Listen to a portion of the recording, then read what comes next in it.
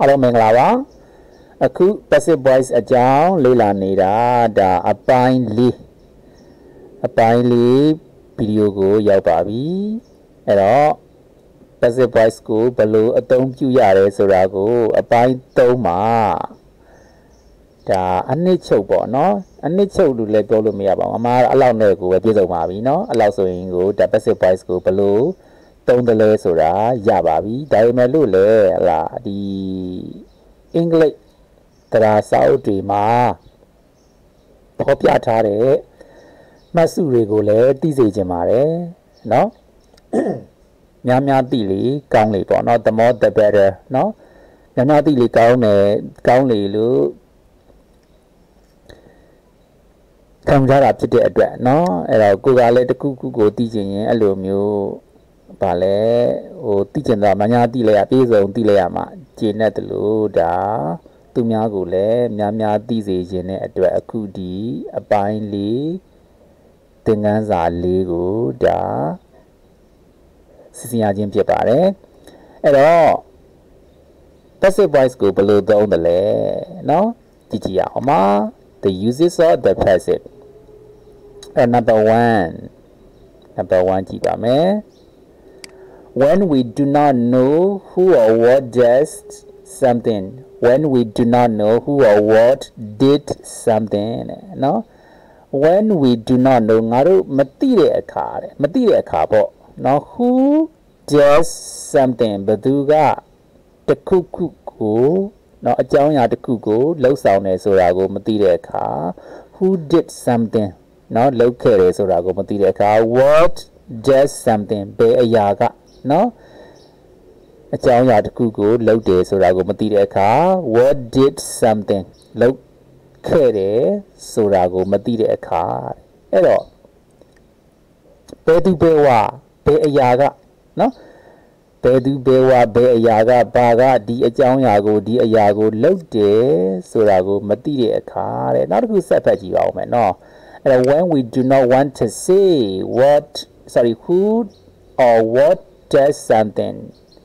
အဲ့တော့ဘသူလှုပ်တယ်ဆိုတာကို မပြောခြင်းတဲ့အခါဘယ်အရာကလှုပ်တယ်ဆိုတာကို မပြောခြင်းတဲ့အခါတဲ့နော်နောက်တစ်ခု when we do not know or do not know exactly နော် or have forgotten who did the action အဲ့တော့ဘသူလှုပ်တယ်ဆိုတာကိုအတိအကျ နော်မသိတဲ့အခါဒါမှမဟုတ်အတိအကျမသိတဲ့အခါဒါမှမဟုတ်လို့ရှိရင်လည်းမေ့သွားတဲ့အခါတဲ့နော်မေ့သွားတာပေါ့နော်မေ့သွားတဲ့အခါမှာတဲ့ passive voice ကိုသုံးပါတယ်တဲ့နော်အဲ့လောက်ဒါလောက်ဆိုလို့ရှိရင်နော်ကဆက်ကြည့်ပါမယ်လောက်ဆိုရင်လည်းမလုပ်တော့ပါဘူးเนาะအဲ့တော့ when we describe a process by talking about what is done အဲ့တော့ဘသူလုပ်တယ်ဆိုတဲ့เนาะ ဘသူဘာ sorry ဘာလုပ်ဘာကိုလုပ်တယ်ဆိုတာကိုပြောပြီးတော့ process ဖြစ်ရတစ်ခုကိုဖော်ပြတဲ့အခါ not who does this အဲ့တော့ဘသူလုပ်တယ်ဆိုတာဘသူလုပ်တယ်လို့မဟုတ်ဘဲနဲ့ဘာကိုလုပ်တယ်ခံရတယ်လို့ပေါ့နော်ဘာကိုလုပ်ဘာကိုဘယ်အရာက လှုပ်ဆောင်ခြင်းခံရတယ်လို့เนาะပြောပြီးတော့ဒီတို့ရပြရတကူကိုပေါ်ပြတဲ့အခါတဲ့နောက်ပြီးတော့ and when we when we report events ဖြစ်ရအကြောင်းအရာတွေကိုဖော်ပြတဲ့အခါ that we don't know ငါတို့မသိဘူး or is not important ဒါမှမဟုတ်အရေးလည်းမကြည့်ဘူး who performed the actions เนาะ ဘသူလောက်ခဲ့တယ်ဆိုတာငါတို့လည်းမသိဘူးအရေးလည်းမကြည့်ဘူးပေါ့အဲပြောချင်တာကဘာလောက်နော်ဘသူကလောက်တယ်ဆိုတာတဲ့ဘာတွေလောက်တယ်ဘာတွေဖြစ်တယ်နော်ဘယ်အရာဟာပြုလုပ်ခြင်းခံရတယ်ဘသူဟာပြုလုပ်ခြင်းခံရတယ်ဆိုပြီးတော့ပြုလုပ်ခြင်းခံရတာကိုပဲပြောခြင်းတဲ့အခါနော်ပြောခြင်းတဲ့အခါဘသူလောက်တယ်ဆိုတာကိုငါတို့ကသိလည်းမသိဘူးသိလည်းဖော်ပြဖို့ဒါအရေးမကြီးဘူးပေါ့နော် လှုပ်ဆောင်ခြင်းခံရတဲ့အကြောင်းအရာလှုပ်ဆောင်ခြင်းခံရတဲ့လူကတာအရေးကြီးတဲ့အခါမှာเนาะ passive voice ကိုသုံးပါတယ်တဲ့ ဟုတ်ပြီအဲဆိုလို့ရှိရင်တော့ example လေးကြည့်ကြည့်ရအောင်နော်အဲ့တော့ my car was stolen last night my car was stolen last night မနေ့ညကငါရဲ့ကားအခိုးခံရတယ် အဲ့တော့ငါကားအခိုးခံရတယ်ဆိုတော့ဘသူကခိုးသွားမှန်းမသိပါဘူးเนาะတခိုးကိုကိုမတိလိုက်မမြင်လိုက်ဘူးပေါ့နော် I do not know who stole the car ဘသူခိုးသွားမှငါမသိဘူး number 2 some trees have been cut down เนาะတစ်ပင်အချို့ကိုခုတ်လှဲထားတယ်ဘသူเนาะဘသူခုတ်သွားမှန်းမသိဘူးပေါ့နောက်တစ်ခု the minister was murder เนาะ ဝန်ကြီးအသက်ခံရတယ်ဘသူတက်မှန်းမသိပါဘူးเนาะသိလဲပဲလာအဓိကပြောချင်တာကဝန်ကြီးပေါ့နော်ဟုတ်ပြီနော်အဓိကအရေးကြီးတဲ့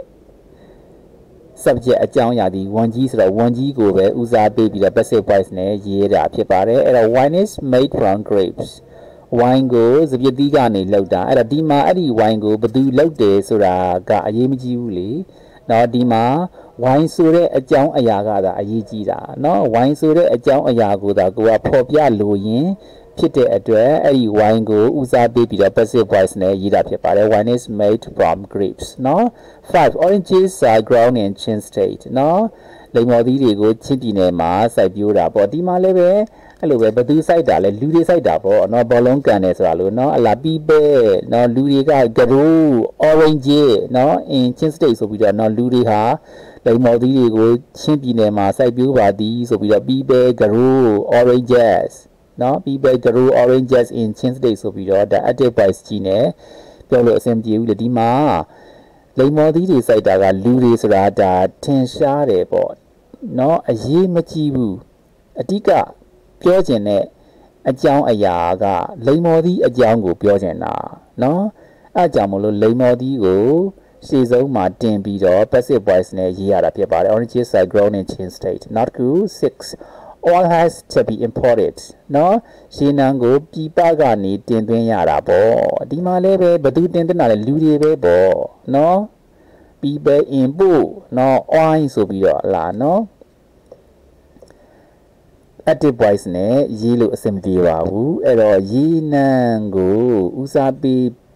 ပြီးတော့ passive voice နဲ့ရေးရပါတယ် all has to be imported နော် number 7 i think the old road has been repaired ဒီမှာတော့ i think ကဒါ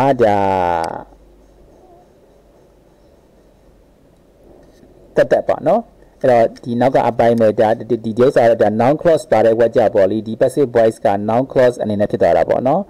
အဲ့တော့ the old road has been repaired နော်လမ်းဟောင်းကိုပြင်ပြီးပြီပေါ့နော်လမ်းဟောင်း the old road ပေါ့နော်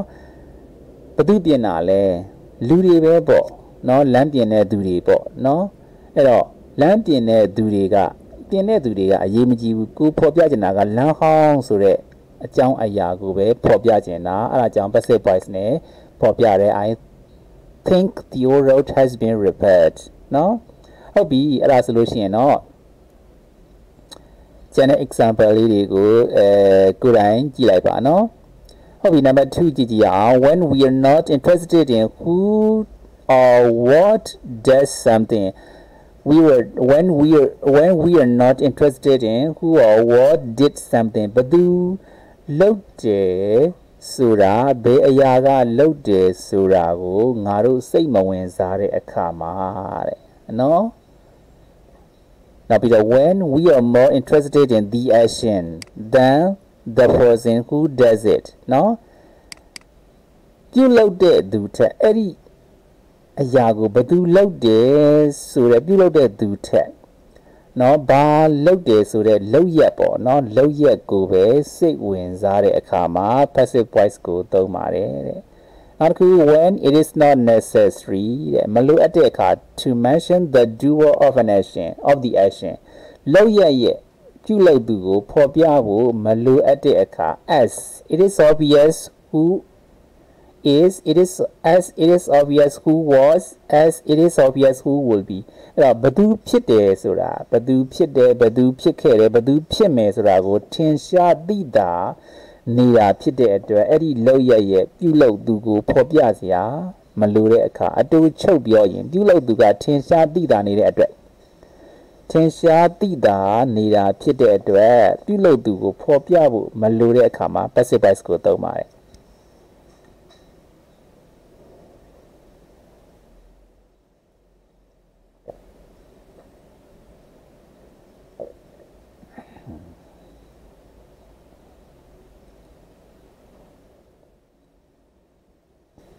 အဲ့တော့ the factory was painted during the war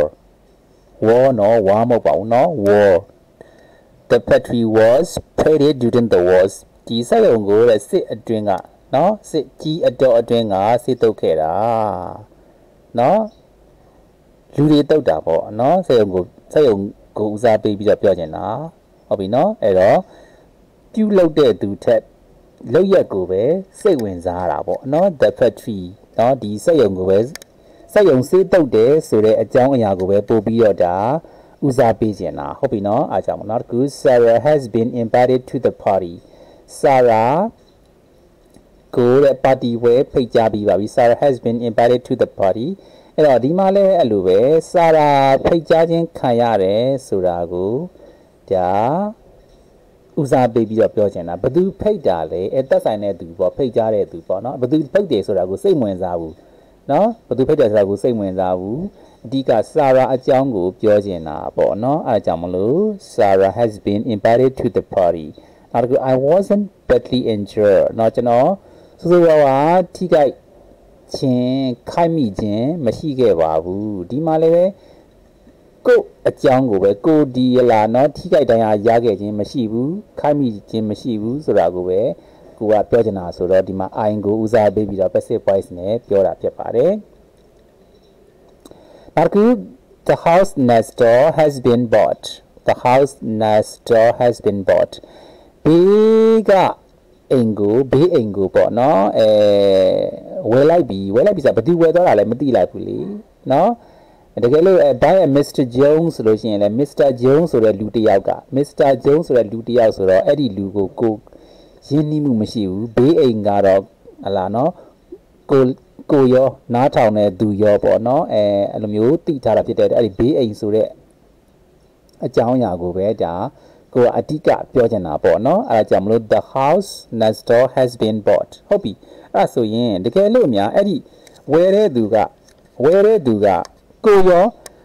ကိုယ်တိုင်လည်းသိတယ်နောက်ပြီးတော့နားထောင်တဲ့သူကလည်းအဲ့ဒီ ဝယ်တဲ့လူကိုသိတယ်ဆိုရင်တော့ဒါ active voice ကိုသုံးပြီးတော့ရေးရမှာပေါ့เนาะအဲ့ဒါတရားလေးဖတ်ကြည့်လိုက်ပေါ့เนาะ if however we know Mr Jones we would use the adjective တဲ့เนาะဒါမှမဟုတ်ဒီ Mr Jones ကိုကိုအနေနဲ့เนาะသိထားတယ်ဆိုရင်တော့တဲ့เนาะ active voice ကိုသုံးရမှာပေါ့အဲ့တော့ Your father's friend Mr Jones has bought the house next door အဲ့တော့မင်းရဲ့မင်းအဖေရဲ့တငယ်ချင်း Mr Jones က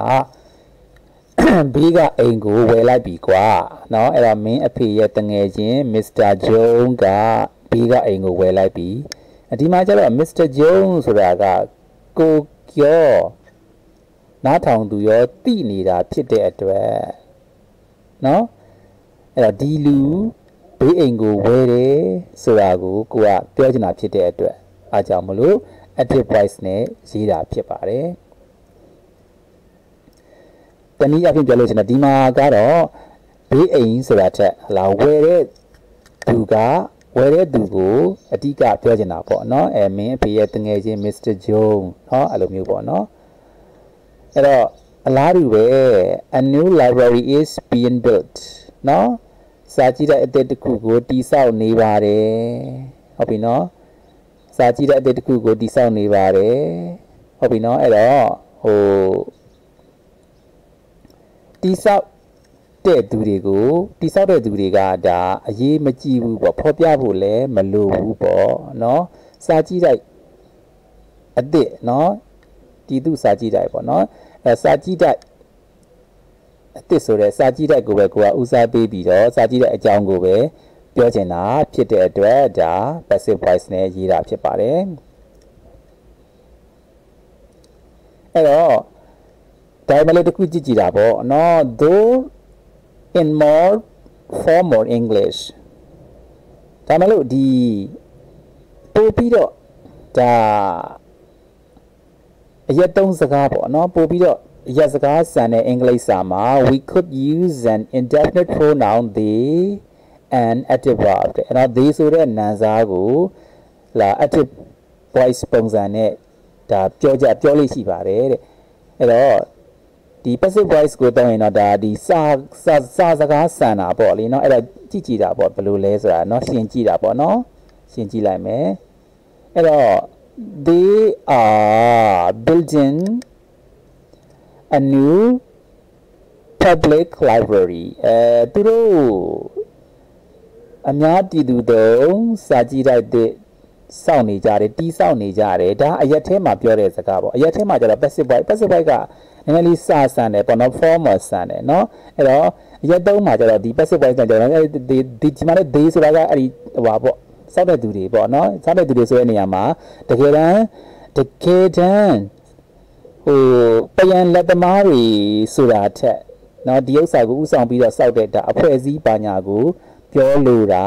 เนาะဖြစ်လိမ့်မယ်เนาะဘယ်အဖွဲ့အစည်းကเนาะစောင့်နေတာလဲဘယ်လာပရဟိတအသင်းကစောင့်နေတာလဲเนาะဘယ်တာဝန်ရှိတဲ့အဖွဲ့အစည်းကစောင့်နေတာလဲအဲ့ဒီတာဝန်ရှိတဲ့အဖွဲ့အစည်းပဲဖြစ်စီ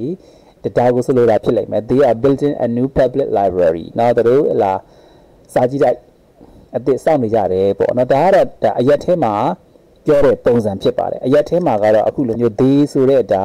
နာမ်စားကိုတုံးပြီးတော့ ပြောလို့ရှိတယ်ဆိုတော့ကိုနားလေးမှာစူပါမားကတ်အသစ်တစ်ခုစောက်တယ်ဆိုလို့ရှိရင်လည်းအဲ့လိုတငယ်ချင်းကိုကြွားပြောတဲ့အခါမှာပေါ့နော်အာဟလာဒီစူပါမားကတ်အသစ်တစ်ခုတော့ဆိုတော့တမန်လာတော့နာမှာစောင့်နေရပေါ့နော်အဲအဲဆိုလို့ရှိရင် they are built in a new supermarket near junction uh near တမိုင်း junction ပေါ့ဒါမျိုးပြောပြောတာပေါ့နော်အဲအဲ့ဒီမှာဟိုဒီအရက်သုံးစကားမှာတော့ဒါ passive voice ကိုအဲ မပြောတော့မသုံးတော့ဘူးပေါ့နော် a new supermarket is being built uh near near တမိုင်း junction ဆိုပြီးတော့မပြောတော့ဘူး they are building a new supermarket near တမိုင်း junction ဟုတ်ပြီနော်အဲ့တော့ဒုစာကတော့ဒါအရက်သုံးစကားမှာသုံးတဲ့ပုံစံအရက်သုံးစကားမှာကျတော့အဲ့လိုအပေါ်အလိုမျိုးဒါ passive voice မသုံးတော့ဘူးပေါ့နော်ဟုတ်ပြီနော်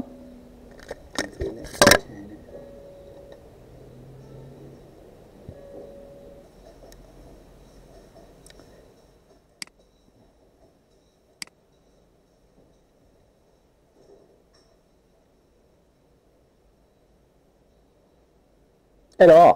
အဲ့ဒီအကြောင်းအရာကိုပဲအဲ့ဒီဒီစာကြည့်လိုက်ကိုဥဆောင်ပြီးတော့တိဆောက်တဲ့ဒါအဖွဲ့ဝင်ပေါ့နော်တယောက်အနေနဲ့တယောက်ကပြောမယ်ဆိုရင်ကျတော့ကျွန်တော်တို့ပေါ့တမို့ကျွန်တော်ပေါ့နော်ကျွန်တော်တို့တော့ဘာလုပ်နေပါတယ်ပေါ့နော်အဲ့လိုမျိုးဖြစ်မှာဖြစ်ပါလိမ့်မယ်တဲ့အဲ့တော့ကြည့်ကြည့်တာပေါ့နော် we are အဲ့ဒီမှာနော် we are building နော်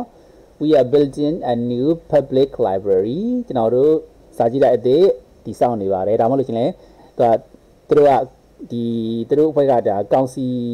ဆိုလို့ရှိရင်လည်း the council is building a new public library ကောင်စီအနေနဲ့เนาะကောင်စီကတော့အဲစာကြည့်တဲ့အစ်စ်ကိုတိစောက်နေပါတယ်ဆိုပြီးတော့ပြောပါမယ်တဲ့ဒါအရက်သုံးစကားမှာပေါ့เนาะအဲ့တော့အရက်သုံးစကားမှာတော့ဒီ passive voice နဲ့ပြောတာကိုဆိုတော့လုံးဝမသုံးပြောတာမဟုတ်ဘူးเนาะလုံးဝမသုံးမဟုတ်ဘူးအဲ့တော့ပြောကိုပြောရမယ့်အခြေအနေမှာဆိုလို့ရှိရင်เนาะဒါပြောရမှာပေါ့เนาะဟုတ်ပြီ နောက်တစ်ချက် the speaker may know who performed the action နဲ့အဲ့တော့ဒီပြောတဲ့သူကတဲ့ဘယ်သူလုပ်တယ်ဆိုတာကိုတဲ့သိကျင်သိပါလိမ့်မယ်တဲ့ but wish to avoid giving the name နဲ့အာဒါမှမလို့တဲ့နာမည်ကိုမဖော်မဖော်ခြင်းဘူးတဲ့เนาะအမီမဖော်လို့သူမလထုံကနေပြီးတော့လားเนาะအလူတော်ငွေ30ကျပ်လူတန်းတော့ပါတယ်ပေါ့เนาะအမီမဖော်လို့သူမလထုံကနေအဲ့တော့သိရ မဖော်ခြင်းဘူးမပြောခြင်းဘူးတဲ့နော်အဲ့တော့ဒီမှာဆိုရင်ကို့အနေနဲ့ Tom ကနော်ကိုယ့်ရဲ့တငယ်ချင်းပေါ့နော်ကိုယ့်ရဲ့အတိပေါ့လေ Tom ကကိုယ့်စာရီကိုယ့်ရဲ့စာရီကိုပေါ့နော်အော် sorry နော် Bill ကပေါ့နော် Tom ဆိုတဲ့ ကောင်လေးမှာစာရီရှိတယ်ပေါ့နော်အဲ့ဒါအဲ့ဒီစာတွေကိုဘယ်ဆိုတဲ့ကောင်လေးကနေပြီးတော့အဲ့ဒီသူ့ရဲ့စာတွေကိုဖောက်ဖက်ထားတယ်ဆိုပြီးတော့ဒါ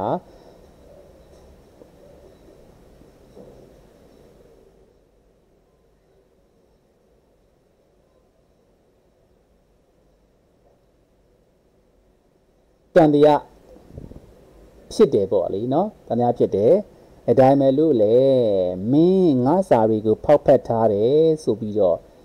ဗာလေပေါ်တင်ကြီးပေါ့လေပြောရင်ပေါ်တင်ကြီးပြောလို့ရှိရင်တငယ်ချင်းအချင်းချင်းဒါမကောင်းဘူးပေါ့လေဒါသိလဲမသိကြဘူးပေါ့လေเนาะဒါကိုကိုယ်စိတ်ထဲမှာဒါဖောက်ဖက်ထားတယ်လို့တန်တရားဖြစ်တာပဲတန်တရားအဆင့်ပဲရှိတာမသိကြဘူးလေမသိကြဘူးဆိုတော့မင်းငါးစာတွေကိုဖောက်ဖက်ထားတယ်ဆိုလို့ရှိရင်ဒါမကောင်းဘူးပေါ့နော်ပေါ်တင်ကြီးပြောတာမကောင်းဘူးဆိုတော့တွေ့ဝိုင်းပြီးတော့ပေါ့နော်ဘယ်လိုပြောတယ်လဲဆိုတော့ this letter has been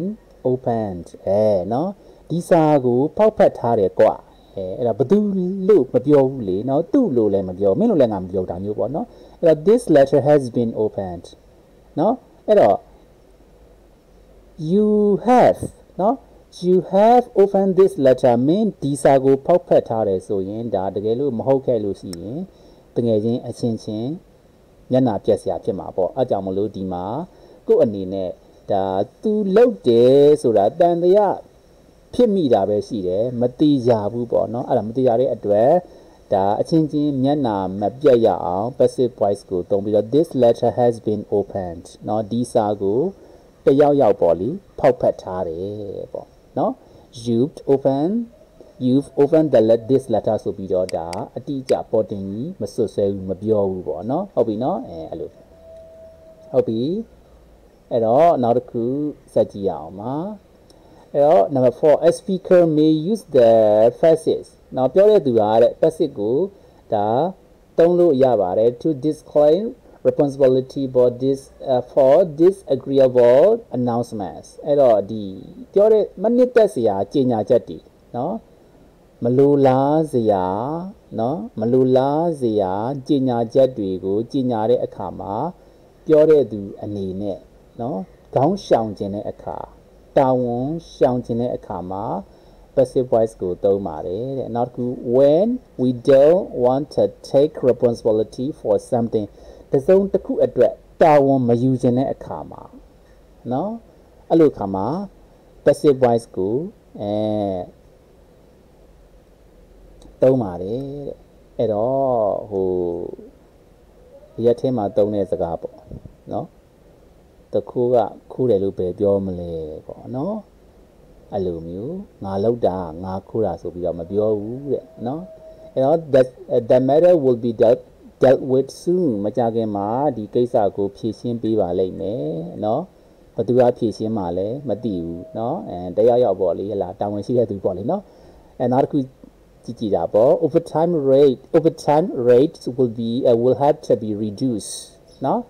အချိန်ဘိုကြီးတွေကိုရှော့ချမှဖြစ်တော့မယ်အဲ့တော့အချိန်ဘိုကြီးရှော့တယ်ဆိုတာကအလုတ်ရှင်တယောက်အနေနဲ့အလုတ်သမားတွေကိုဒါအာနာနာနဲ့เนาะအာနာနာနဲ့ပြောရမယ်စကားပေါ့အဲ့ဒီတော့ငါကတော့ငါတို့ကတော့ဆိုပြီးတော့ပေါ်တင်ကြီးမပြောဘဲနဲ့ပျော့ short ပြစ်မှဖြစ်တော့မယ်ဆိုပြီးတော့ဘသူက short ပြစ်မယ်လို့မပြောဘူး။နောက်ကို I ဆိုတဲ့ we ဆိုတဲ့ဟလာ subject ကိုထည့်မပြောဘူးပေါ့နော် overtime overtime rates will have to be reduced နော်ဟလာနော်နာလောက်တာနာလောက်တာဆိုပြီးတော့လက်မမထောင်ဘူးပေါ့မန်တက်တိုင်တက်မပြဘူးဘာလို့လဲဆိုတော့ဒါမကောင်းတဲ့ကိစ္စကြီးကိုเนาะကောင်းတဲ့ကိစ္စဆိုလို့ရှိရင်เนาะနာလောက်တာกว่าဆိုပြီးပြောမှာပေါ့เนาะ အဲ့ဒါကြည့်ရအောင်ပါ the active will of course be used အာ active ကိုသုံးတာပေါ့လေ for agreeable announcements เนาะအဲတကယ်လို့လိုလားစရာနှစ်သက်စရာဒီကိစ္စတွေကြီးညာချက်တွေအတွက်ဆိုရင်တော့ passive voice ကိုသုံးတာပေါ့ဒါဆိုလို့ကျွန်တော်နားလောက်တာกว่าပေါ့เนาะဒါဆိုရင်တော့လက်မထောင်ပြီးတော့ပြောမယ်နာတွနာတွเนาะအဲ့တော့ employer က အလုပ်ရှင်ကအလုပ်သမားတွေကိုပြောမယ်ပေါ့နော် I'm going to increase overtime rates အဲကျွန်တော်အနေနဲ့အချိန်ပိုကြီးတွေကိုတိုးပြီးတော့မှဖြစ်ပါတယ်ဒါကြတော့တိုးမဲ့ကိစ္စအလုပ်သမားတွေဝမ်းသာမဲ့နှစ်သက်မဲ့ကိစ္စဆိုတော့ဒါအဲလက်မတောင်းပြီးတော့နာပေါ့ကျွန်တော်ကတိုးရမှာပေါ့နော် we are going to increase overtime rates ကျွန်တော်တို့အချိန်ပိုကြီးတွေကိုတိုးပြီးပါတော့မယ်ပေါ့နော် ဟုတ်ပြီเนาะဒါကြတော့လူလားစရာကိစ္စဆိုတော့ဘာဖြစ်လဲအဲ passive sorry active voice နဲ့ I we ဆိုတဲ့ subject ကိုသုံးပြပြောတာပေါ့เนาะအဲဒီလောက်လောက်ဆိုလို့ရှိရင်တော့ passive voice ကိုဘယ်လိုသုံးရမလဲဆိုတာကိုရှင်းလောက်ပါပြီเนาะဆက်စရာတွေရှိသေးပေမဲ့လို့လေတခြားเนาะအရေးကြီးတဲ့အကြောင်းအရာတွေ ကိုအရင်ဆုံးလုပ်ချင်တဲ့အတွက်အခုဒီ passive voice အသုံးပြုပုံသင်ခန်းစာကိုဒီမှာပဲလက်စားတက်လိုက်ပါမယ်